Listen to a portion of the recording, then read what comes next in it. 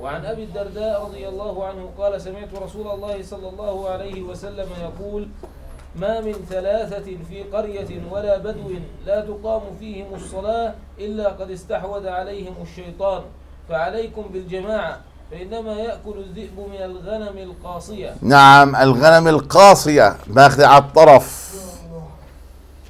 فهذه يأكلها الذئب. فأنت يا من لا تشهد الجماعة سهل أن يبعدك الشيطان عن الصلاة. اثنين ينبغي لك التنبه أنك إذا لم تقم صلاة الجماعة فماذا وصفك النبي صلى الله عليه وسلم؟ ماذا وصفك؟ نعم استحوذ عليك الشيطان. استحوذ عليك الشيطان. نسأل الله أن يحفظنا وإياكم.